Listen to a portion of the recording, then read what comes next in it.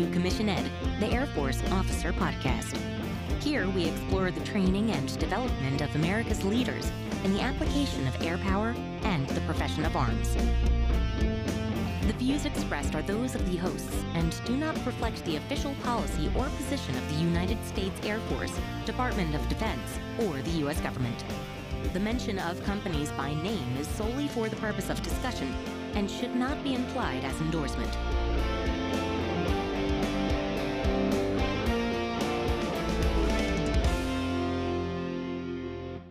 Welcome back to another episode of CommissionED, the Air Force Officer Podcast. I'm Colin Slade. And I'm Reed Gann, and we're your hosts for CommissionED. Colin, welcome to season two or uh, three. This is season three. Sorry. This is season year three. I'm sleep deprived. Okay, let's rewind this. Steve, we're going to start over. No, no, no. This is Just- going no, into the show. This is going into the show. Awesome. Okay. Welcome to year three, season three of the CommissionED podcast. We're going to start a series of episodes on kind of a big topic that Colin, you and I are wholly unqualified to comment on, hmm but But we're going to do it anyway. but we've got to. We've got Yep. to. The more we've started to explore this idea of what is a commission, kind of, I don't know, commission ed, it's like the point of what we're talking about. Yep. It's all started kind of to crystallize around this idea of the centrality of command. So today we're going to do kind of the nuts and bolts about what is a commander. So in Yeah. typical form, we'll go through some AFIs, go through some, you know, US code, that kind of stuff. Really riveting. But we'll also talk a little bit about We'll talk about kind of the unstated things, you know, our experiences, things we've observed, because we've all been around commanders. They're Yeah. a critical part of an Air Force or military experience. So, yeah, let's get to it. So, Colin, when we think of commanders, what is a commander? Yeah. So there are a number of different types of commanders that it's usually prefaced by some sort of echelon, some sort of designator of where that command exists within the Air Force. So when we talk commander, we typically think of squadron commander. That's usually where people's minds will go when you say my commander, right? Yeah, the beating heart of the Air Force. You know, that's the central unit, the central organization. Yeah, for sure. I mean, it makes sense because squadrons are how the Air Force is organized. That's how missions are carried out. They're done at the squadron level, right? Yeah. And so it makes sense that squadron commander is the typical place that your mind will go when you hear that word. But there are many more positions that use the title of commander. And I'm just going to run through a quick list here to give you an idea of how many other types of commanders there are flight commander, detachment commander, squadron commander, group commander, wing and vice wing commanders, installation commanders, numbered Air Force commanders, MAJCOM commanders, and combatant commanders. So we see there the entire Department of the Air Force, but outside of it, in the combatant commands, the COCOMs, where command takes place, where Air Force officers are going to be functioning as a commander. Yeah. And this all makes sense, right? Chain of command starts at Yep. the commander in chief, right? There's that word again. Mm-hmm. and goes, This is how the power and authority comes to you. It comes through this chain. Some other positions that function like commanders and may even have some of the responsibilities but don't have the title. You have commandants, you have adjutant generals, you have materiel leaders, that's in the acquisitions world, Mhm. chiefs, and directors. Yeah, Chiefs, can we talk about that one real quick? Yeah, let's do that.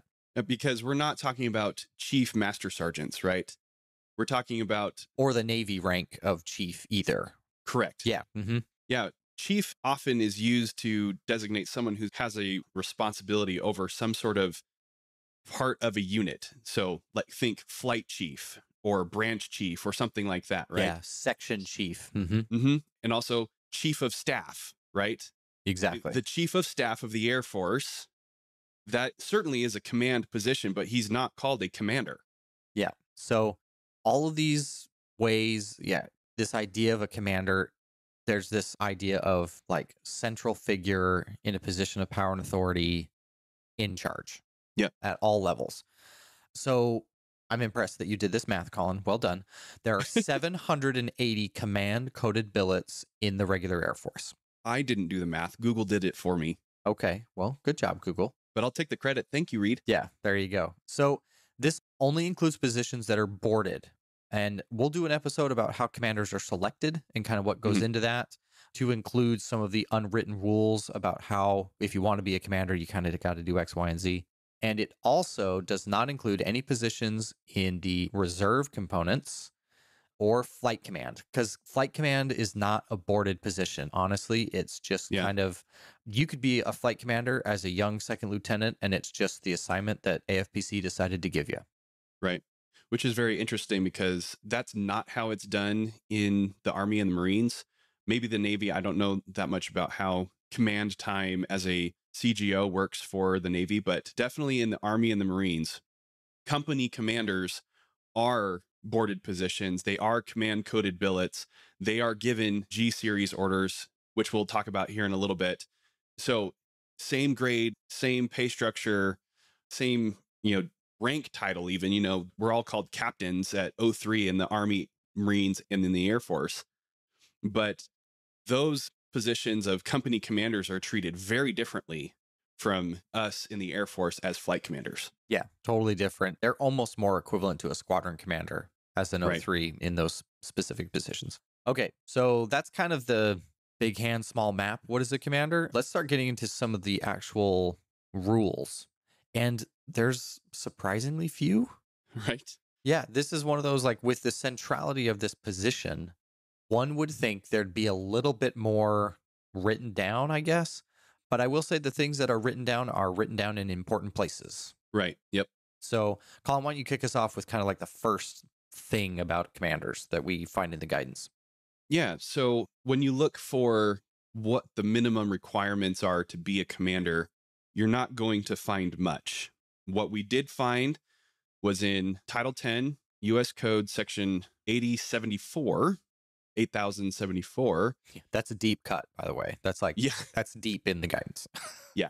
You like you really have to go looking for it but once again thank you google so officers in the air force may be assigned to command various different air force activities installations and personnel based on the echelon or the area where they are going to have responsibility so just like we ran through at the beginning of the episode you know all the way from the highest levels major combatant command all the way down to squadrons of flights right and to discharge those duties or functions authorized by law, officers are assigned certain duties or powers by the Secretary of the Air Force. Now, the translation of all of this is that in order to carry out those duties, in order to have those responsibilities for installations and personnel, you must be a commissioned officer. Period and dot. Right? Yeah. So if you want to be a commander, okay, we're talking minimum requirements, thou shalt be a commissioned officer. Right? Yeah. Pretty straightforward. Now, there are some nuances that further stipulated in the law here. Now, moving on to another deep cut, section 8579, it talks about how officers who are in the medical, dental, veterinary, medical service corps, or biomedical, or also nurses, cannot be commanders in areas that are outside of their specific category, which is best just understood as non line of the Air Force. Yeah. So what we're getting at here is you're not going to see a nurse as a commander of an ops group. That's not a thing. They would need to be a commander over other medical non-line personnel. And it was really interesting. I always thought that that was just like a heuristic, a shortcut, a way of just a more way, the way that we've always done things. It wasn't that they couldn't because of any sort of written down rule. That's just the way it was. Turns out it's actually in the law that non line officers cannot command line of the Air Force units. Yeah. Now, of note, there isn't a law preventing the other thing from happening. The vice, the vice versa of it. Yeah, having a pilot or security forces or you pick your line of the Air Force being a commander over a medical group or something. Mhm. That doesn't appear to be there. So, And that does happen. Not Yeah. very often, but it does. yeah. So, when it comes to, you know, the very specifics like what can you command, it's pretty much wide open for a, a member of line of the Air Force, much more restrictive for those outside of that. Okay, so if we keep going, there are a few more things that it does talk about in Title 10. This one's 8583. It talks about some qualities and responsibilities a little bit, not as much depth as you'd think. And we'll talk more about that in a little bit. But in order to be a commanding officer, you need to show yourself as a good example of virtue, honor, patriotism, and this one's interesting subordination. Yeah. When I think of a commander, subordinate is not a word that comes to mind. Right. It's kind of the opposite of that. Yeah. I mean, I fully understand and get behind being a good example of virtue, honor, and patriotism. Got it. Check. I like those ones. But being a good example of subordination, It took me by surprise. And I think we'll talk about it in a little bit here, but I thought that was interesting. So put a pin in that one and we'll talk about that in a minute. Yeah. Another one vigilant in inspecting the conduct of all persons who are placed under their command. So they are responsible for making sure that the people in their area of responsibility within their unit, within their command, are conducting themselves the way that they're supposed to. And the next point there, number three, kind of feeds into that that they are supposed to guard against and suppress all dissolute and immoral practices and to correct any sort of infractions against the laws and regulations of the Air Force. And this gets into the G series orders that commanders carry. And we'll explain that here in a little bit too. But it's just important to see that it's outlined here in law that commanders must inspect the actions that their people are carrying out on behalf of the unit. Yeah. And then correct them if they need to. Mhm. And the last thing here in this section take necessary and proper measures under the law, regulations, customs, the Air Force to promote, safeguard the morale, physical well being, and general welfare of the persons under charge or command. So they got to take care of their folks. I think it's time, though, to kind of talk about this idea of G series orders. We've mentioned this word a few times, but in order to fulfill these things we just talked about, right? Inspect and correct according to law. Mhm. Commanders are a little bit different. They have a few things that your normal run of the mill doesn't have available to them. And I would add also to be the example of subordination, I think the G series plays a role in that too. Yeah, absolutely. So we're going to start by defining what G series orders are. So you can find this in AFI 38 dash 101. G series orders are used to announce and record command secession. So it's literally just this person is now the commander. Mhm. That's what it says. Yeah. What goes along with that is they now have been identified as someone who can exercise legal authority granted to them based on this role. Okay, so what is this legal authority? Well, what the legal authority that commanders have that normal, quote unquote, normal officers don't have Non commander officers. Yep. Is they can issue non judicial punishment. Non judicial punishment is exactly what it sounds like. There has not been a judge or a trial, and you can get punished according as they see fit within the bounds of the law, of course. Yeah. So, what does that look like? That looks like you can get fined based on a percentage of your pay. You can lose rank. You can be confined. Like they can make you go somewhere, like they confine you to quarters. Like you can't Yeah. leave your room. Admonition reprimands, they can give you extra duties and otherwise restrict your movements or what you do. So they can like punish you. Mm-hmm. We keep saying you, but I don't want people that are listening thinking, hey, watch yourself because Yeah. commanders are going to be coming after you. This is for those people we mentioned earlier, those that are infracting on the laws and regulations of the Air Force, and the commander has the responsibility to correct them. It's written in the law that the commander will correct those people. And it's this non judicial punishment, these different ways of correcting that they're able to do that. Yeah. So Yeah. it's not you, audience, that are in the wrong, Yes. but that's what commanders can do. Yeah. And we're not going to keep going on this point, right? This is not a discussion about good order and discipline and all the tools available to commanders and, you know, the the spectrum of discipline and punishment. Though is a worthy conversation to have. It's just not Yes. one that we're going to do right now. Yeah, you know, we will do that one because that is a super crucial discussion. But in order for a commander to do all those things we've discussed, they have to have additional tools available to them. Yeah. And these are those tools. And should a member decide not to accept this non judicial punishment, if they think that the commander is wrong and that have not done anything wrong, then it goes to a court martial and that's a trial and that involves lawyers and that's a whole separate thing. And that's not what we're talking about with, you know, commander's responsibilities. Yeah.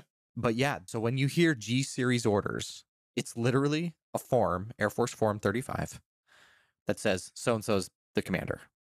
Like that's it. Yeah. and there's a whole AFI that goes into I mean it's pretty interesting, but that's what it means. It means this person has been given the legal authority to conduct NJP or non-judicial punishment. You may hear it called an Article 15. That's just a Mhm. portion of the UCMJ that allows commanders to do this. Right. Yeah. And we bring this up because we want to make it clear that these are the things that designate a commander as someone who is different from a non commander officer. We all have a commission, right? We have all been granted authority, that special trust and confidence by virtue of meeting the minimum requirements of the Air Force as outlined in Title 10, Section 532, right? But they've been through another sort of process or selection that moves them into a different category of officer than everybody else. They've been through a board, they've been identified by the powers that be within the Air Force, they've been given G series orders that designates them as the commander. So that is important when you see, you know, two 06s standing side by side with birds on their shoulder, but one of them has the command pin above their name tag, right? That says this one's the wing commander and this one's not. That matters. Yeah, it absolutely does. And just think about the concept. You can take someone's rank away. Mhm. You can confine them. You can dock their pay. I mean, you have legal power and authority, and that's heavy. It's heavy stuff. And yet, Colin, as we talked about, there's not a whole lot of like how to. Right. There's not there. So you know, we've talked about this before. AFI one dash two, right? Commander's responsibilities: accomplish the mission, lead airmen, manage resources, improve the unit. Nowhere in there does it say what do you do when your airman gets a DUI. Right. Yeah. Now they're not going to abandon you. There are people to help and guide you and to lead you through this process. There are squadron commanders courses. There are all these books, Commanders in the Law.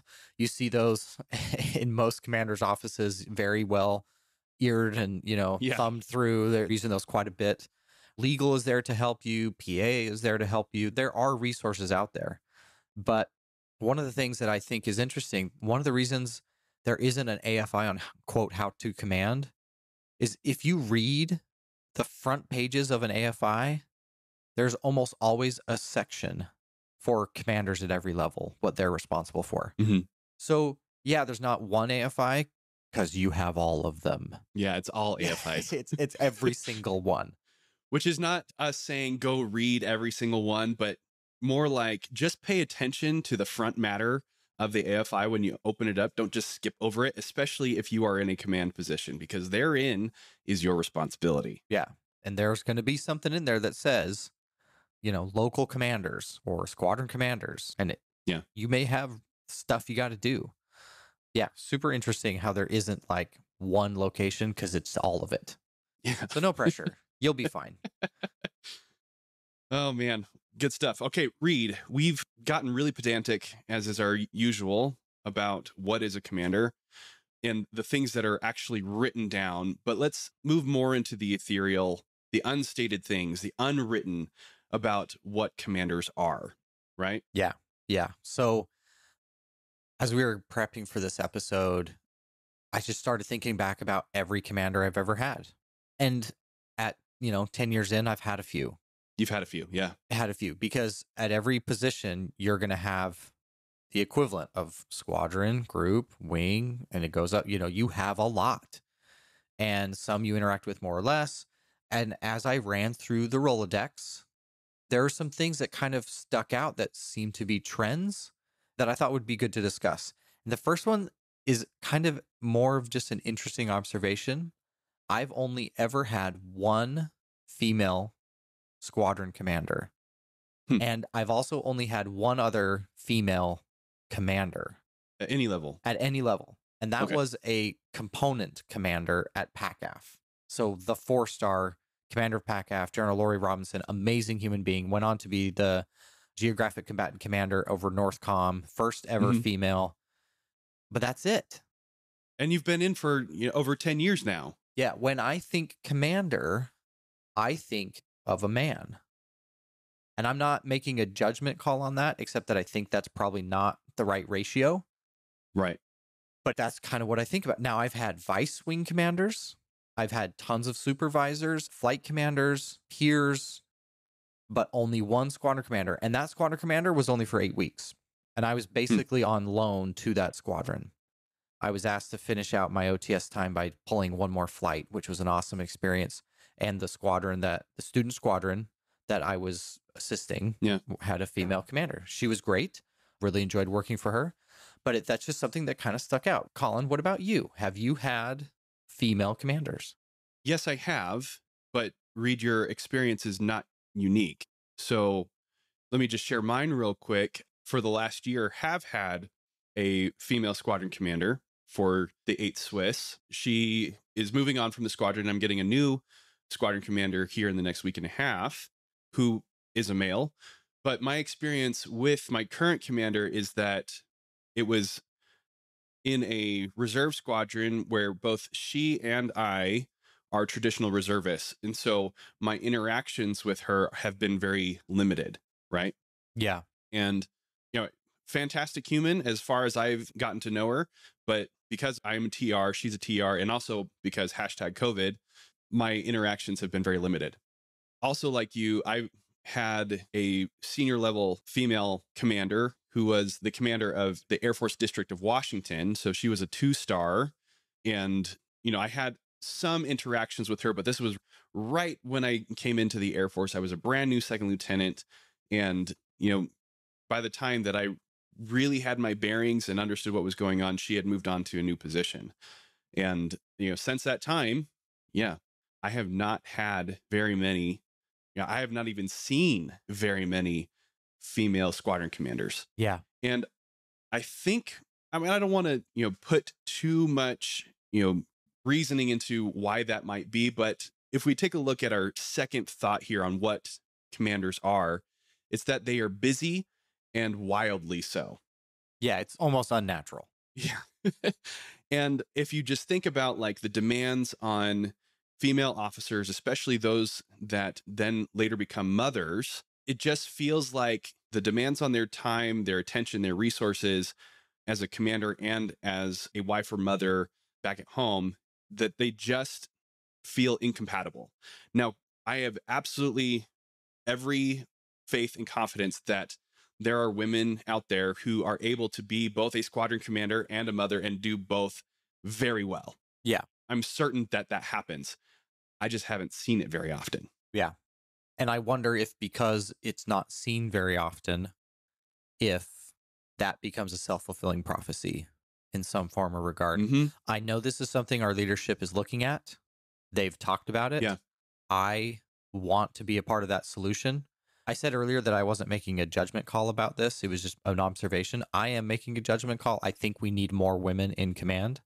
Oh, absolutely. And so I'm eager to see how this develops. But like you, if you don't see it, that's what you start to think is a commander. Yeah. And so that was just something that I thought, you know, was worth talking about. And I don't have an answer to this. I think there are way, way bigger issues that underlie this that you brought up, right? And those types of topics and issues are not something that is only part of the Air Force. You know, reporting recently has shown that women lost more jobs during COVID than men because of childcare responsibilities. You know, these are way bigger issues than than just affecting the DoD. So, but just an interesting thing. And we'll leave that there and go back to point number 2. Yes, commanders are busy. That is universal. Mhm. if you see a relaxed commander, it almost makes me nervous right? because it's like, oh man, I bet that place is a dumpster fire. Like something's probably wrong. It's so uncommon.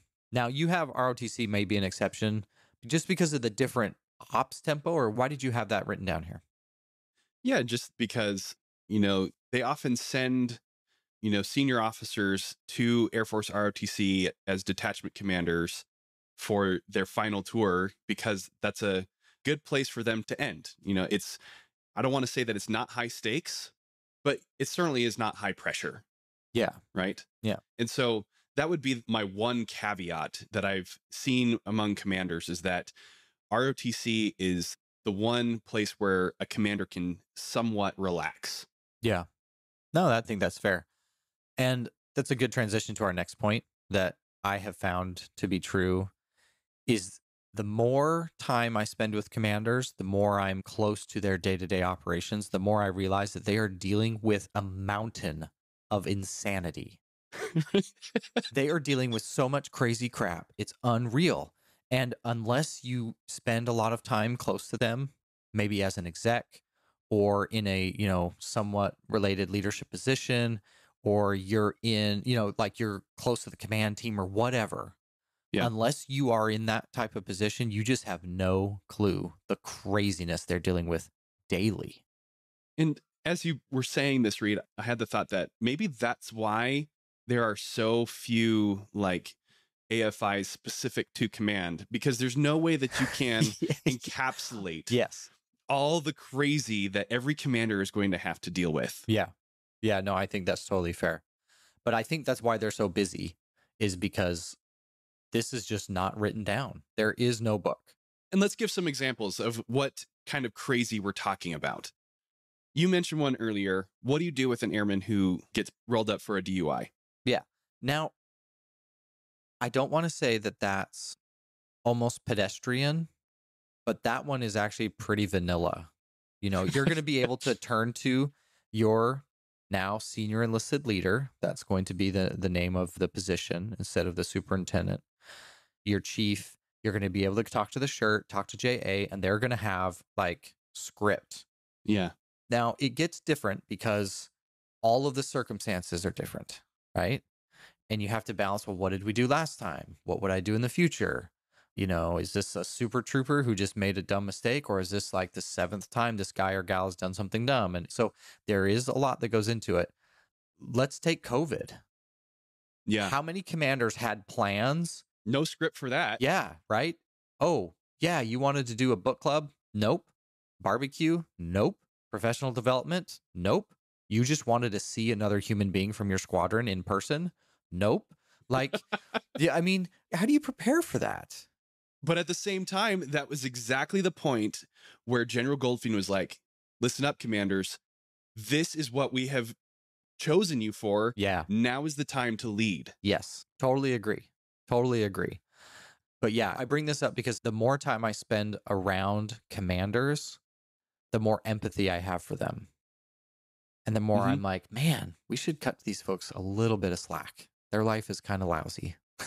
At least a little bit. But at the same time, and this gets to our next point, Reed, is that not all commanders are of the same caliber. You know, it's hit or miss, right? That over the course of a career, any amount of time that you spend in the Air Force, you're going to interact with some really awesome commanders. And you're also going to find the bottom of the barrel where they're just, they're not good at command. They may be wonderful humans, they may be terrible humans, but they're just not good at commanding. Yeah. And I've had the gamut, right? I will say the number of really bad commanders is a lot lower than the generally good. Right. If I had to put, you know, where is the mean on my scale, it's definitely on the better than crappy part of the scale.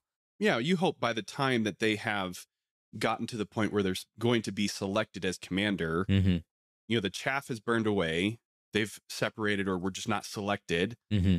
But, you know, some will slip through the cracks and get into command positions, even though they're not ready for command. Yeah.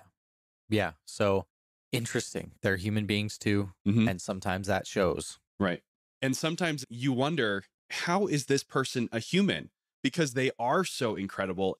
They're able to take all of that crazy that's coming at them all the time and just handle it with aplomb and just keep going. Yeah. You wonder, how are these people even functioning? Yeah.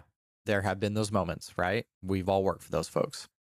Another thing that I think we ought to talk about is they are so incredibly responsible for the culture of their organization that they lead. Wait, wait, wait.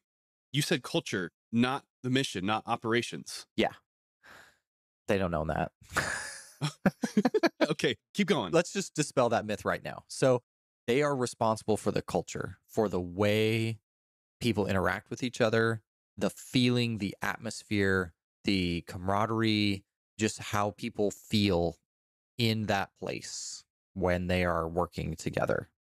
Yes, they drive the mission. Yes, they make decisions. But man, so much of that is not up to you. Right. So much of that is not up to you. Yeah, so you're going to be in charge of this squadron. Guess what?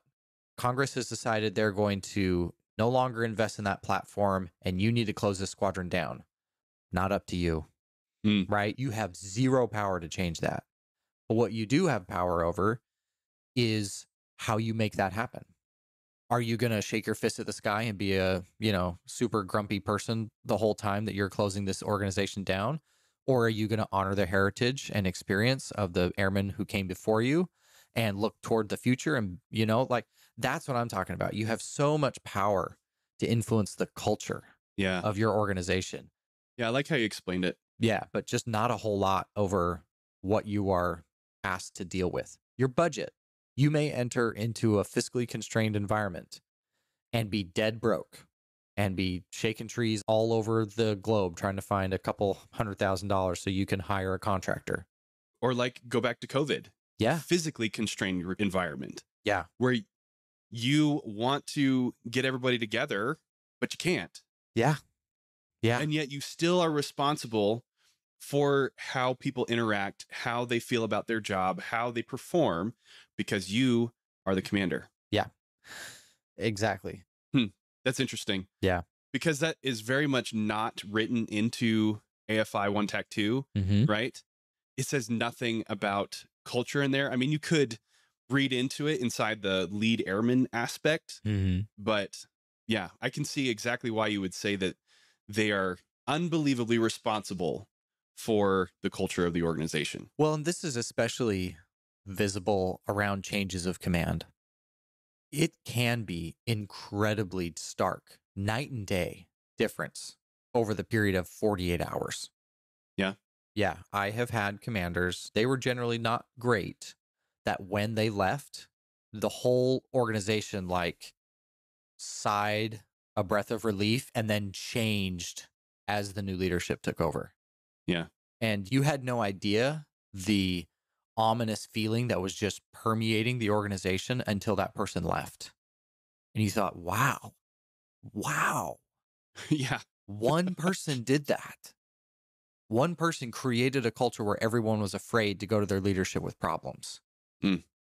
And we get one new person, and someone says, Oh, sir or ma'am, you know, I've got this issue. And they're like, Oh, okay.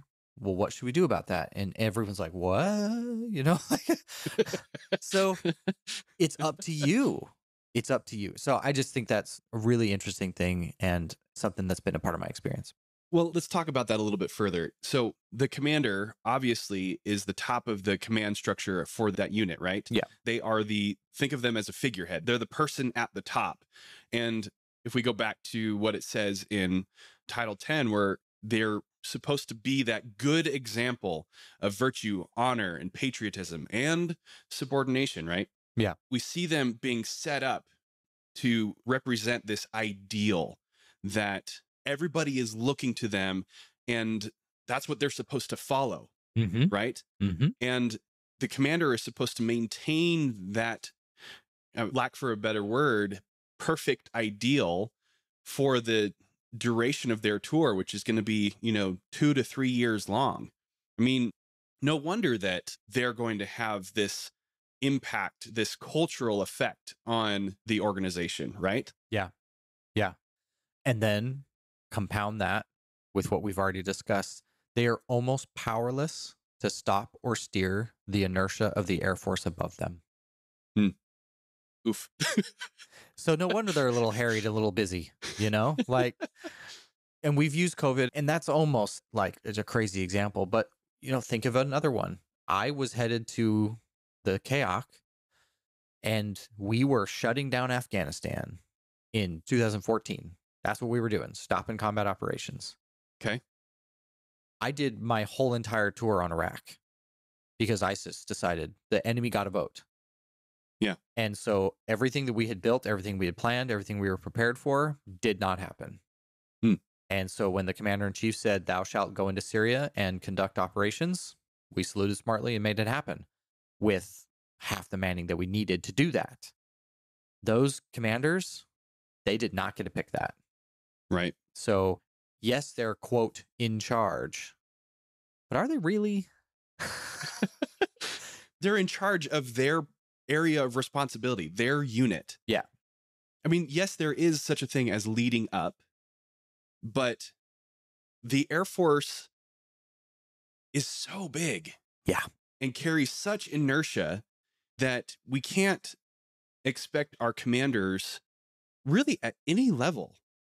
I mean, maybe at the chief of staff level. You know, we'll see how things play out with General Brown and the accelerate, change, or lose. I hope he wins, right? I want this to happen. But at the same time, the inertia of the Air Force is so strong, especially when you're at the lowest level of the Air Force at the squadron. You're trying to affect change potentially at the group, at the wing, at the numbered Air Force, the MAJCOM, the combatant command, the entire Air Force. And you can't expect a lowly, quote, lowly 05 lieutenant colonel to be the one to do that. Yeah. So I like what you said earlier. Let's cut them a little bit of slack. Yeah. Yes, hold them to the standard because it's written into law that they're supposed to be this example of virtue and honor and patriotism, subordination, but give them a little bit of slack because there's only so much that they can do. Yeah. I think that's a good transition point to something that I don't know. I'd like your thoughts on this. I think that command looks very lonely Oh, 100%. Unless they are in an organization that has a lot of other commanders at their rank and position. So I'm in an organization with 18 squadrons, Okay. 18 squadrons, 1805 squadron commanders. Yeah. They've got a peer group. Yeah. That's not very common, to be honest. Well- you know, the installations might, installations might have commanders. Yeah, but at the day to day, at the squadron, they don't have a peer group. Yeah. They are by themselves. They are the commander. They're not a commander of the squadron. They're the commander. And this makes me think of one of my most poignant and earliest memories of coming into the Air Force. This must have been like my first or second PT session, you know, unit PT with the squadron.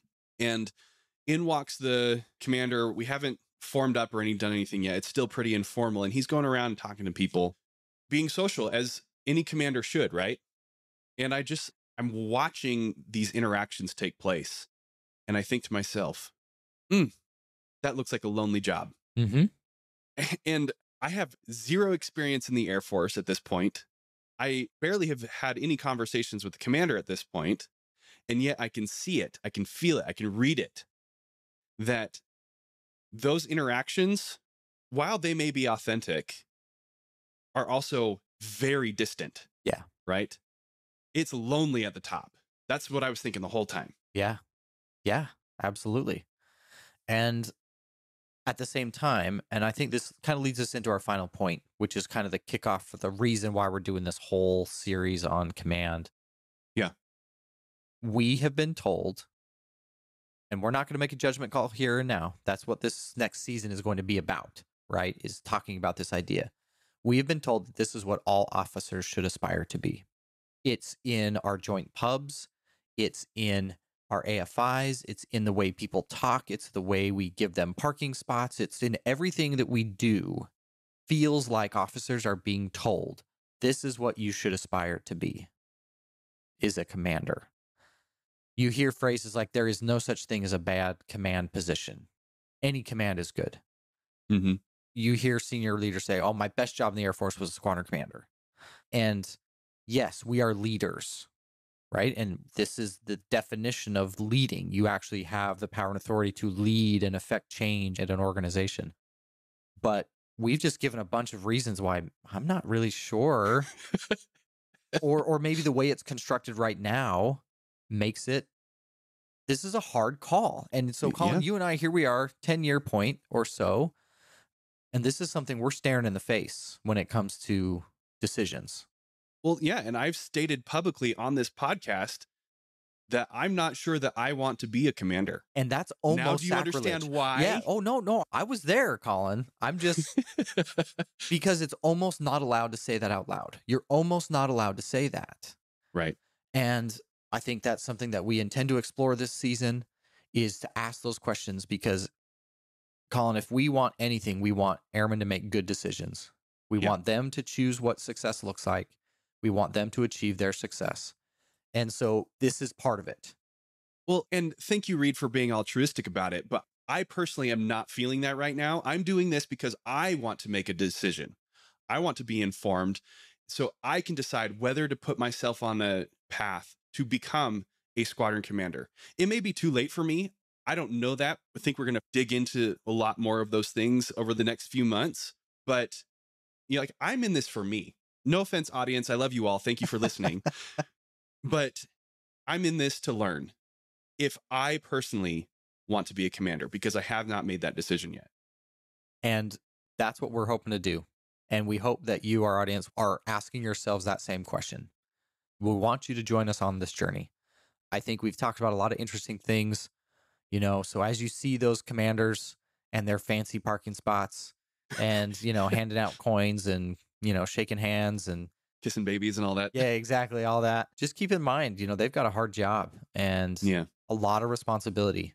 And we'll talk about this, I'm sure. You know, are they being adequately prepared? Do they have the tools? Honestly, with how well some of them are doing, something's going right, you know, because I've had some amazing commanders. And I'm interested in exploring this. We're hoping to bring you some interviews with some commanders, hopefully graduated ones, because as we've described, you know, the ones that are acting are a little busy and hopefully they've had some space to kind of you know debrief themselves about how the command right. experience went anything else colin before we wrap up this week i know i just said that i'm in this for me but thank you all for tuning in for listening being here with us learning with us. And we invite you to join us in the discussion. Find us on social media on our email address air force officer podcast at gmail.com Join us in the Heritage Room where we're going to discuss these things in more detail between the episodes so that we can all learn together about what it means to be a commander, what it is that we can do to better prepare ourselves to be commanders if that's the direction that we want to go. Please join us for these discussions because it's the best way that we're all going to learn. Awesome. That'll do it. Thanks for joining us for this week's episode of CommissionED.